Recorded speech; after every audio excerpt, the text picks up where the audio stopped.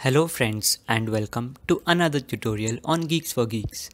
In this video, we are going to understand the program which finds sum of leaf nodes at minimum level in a binary tree.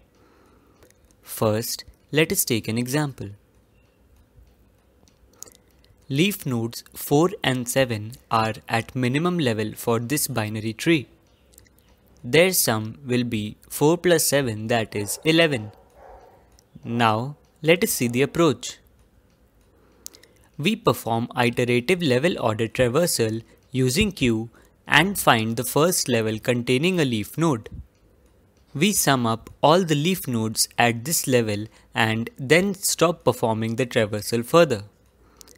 Now let us see the algorithm. Let us also have a sample tree to test our algorithm. We pass the root node that is 7 to sum of leaf nodes at min level function. So root will point to 7. Since root is not null, we check if there is only one node.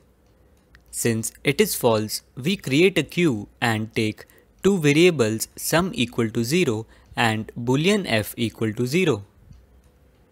Next, we push root which is 7 into the queue.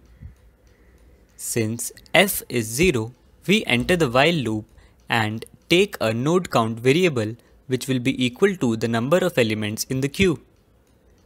As there is only one element in the queue, nc will be equal to 1. Since nc is greater than 0, we decrement it and enter the inner while loop. Now we take a node top which points to the front of the queue and pop it. So top will point to 7 and 7 will be popped. We check if node is a leaf node. As it is false, we go to the else part and enqueue the left and right children of top. So 6 and 5 will be enqueued.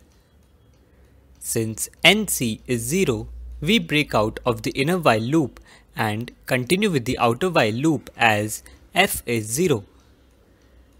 So now nc will be 2 as there are two elements in the queue.